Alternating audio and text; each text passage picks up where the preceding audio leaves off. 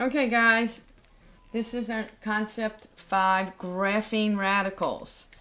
And we're only going to have to learn how to graph two types of radicals, the square root function and the cubic root function. So let's take a look at the first one, the square root function. The graph of the square root function looks like this. Notice that we have a domain restriction. And you may wonder why we have a domain restriction. I'm going to put this up in the corner over here so we can you can look at it while I talk about it. It has a domain restriction here because at 0 you can't take a square root of a number smaller than 0. So it starts off at 0 and then we would make a t-table as we did before x and y and we're going to pick another value. If we put 0 in there, we get the square root of 0 is 0, hence we start there. Then we pick another value. In this case, they picked 1, and the square root of 1 is 1, and we graph that. And then we could also take like the square root of 4, and we would get 2, and we would graph that point right there.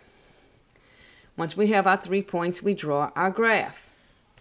This is the standard form of the, or the parent form of y equals the square root of x. It's called the parent function. Now, if you remember correctly, when we did absolute value, the graphs shift, okay? The general form for our equation is y equals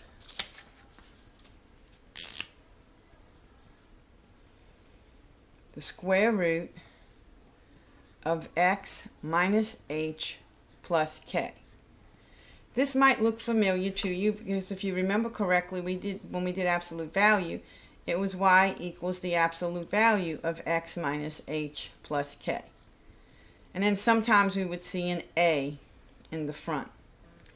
The value in the front, if you remember correctly, was the steepness. Notice these are exactly the same. So you're not really learning anything new.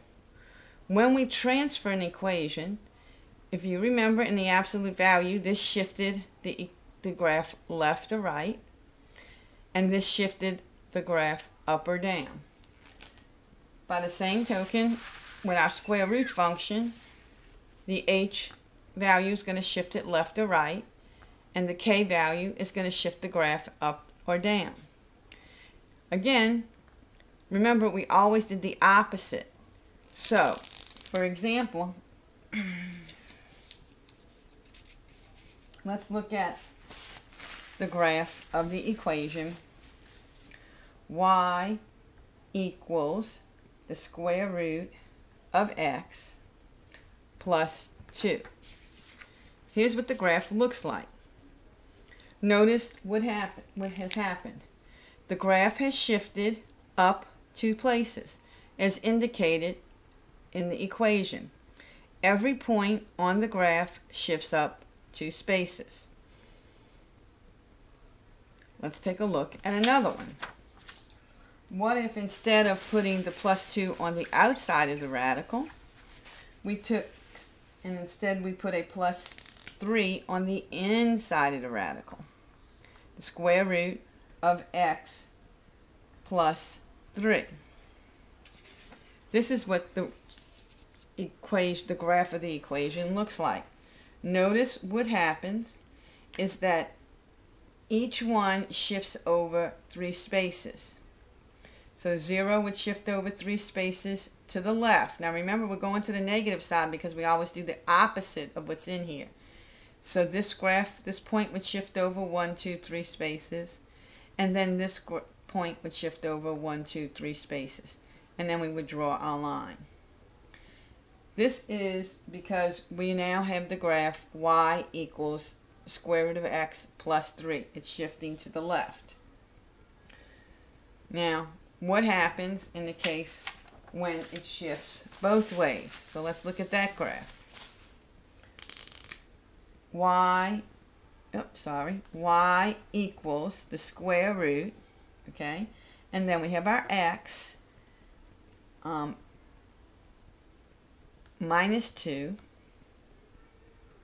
minus 3.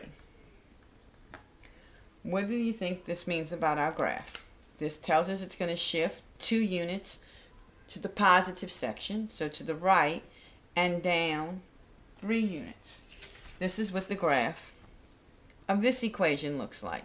Here was our original point. It shifted over 2 units and down one, two, three units. This point shifted over 2 units and down one, two, three units. All this is doing is causing shifts, just as it did in our absolute value, so it's nothing new. The only thing you have to be concerned about is um, what's where, where the shift is in the numerator, uh, under the radical or outside the radical. Under the radical shifts it left and right. Outside the radical shifts it up and down. Now you might wonder what happens if we have a negative in front. y equals negative square root of x. Well, this was our original equation. And if it's a negative square root of x, if you remember when we had a negative absolute value, all that simply does is flip the value to the other side. So now, this new graph is y equals negative square root of x. The original value flips over the x-axis. If you have any questions, please ask. And we're going to do the cubic function next. So let's look at those. The cubic root function, not the cubic function, the cubic root function. So we're going to have y equals the cubic root of x. That function looks like this. Someone when I in class pointed out that it kind of looks like the um, x cube function, but it's turned on its side. And it does. Okay?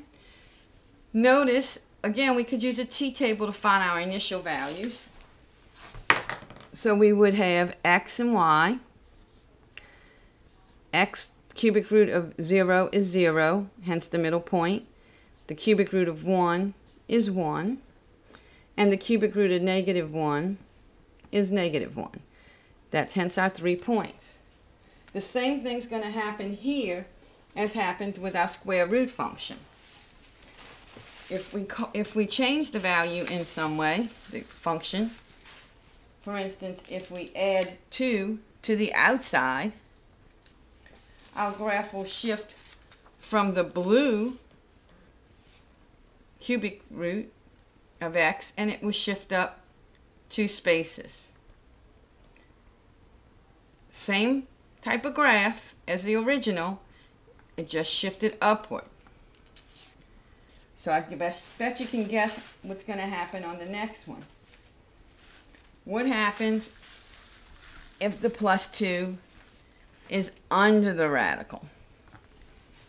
Yep, you're right. It's going to shift two spaces, but this time it's going to shift two spaces. Remember, we do the opposite when it's under the radical, so we shift in two spaces to the left. So every point would shift two spaces to the left.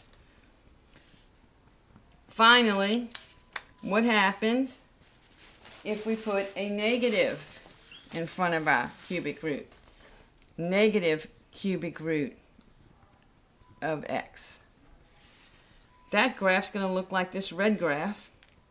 Notice it's the exact same as the blue graph, except it has been flipped because the negative indicates that you're flipping it over the x-axis. Graphing radical functions, at least the cubic and the square root, are pretty easy. So if you have any questions tomorrow in class, please ask me.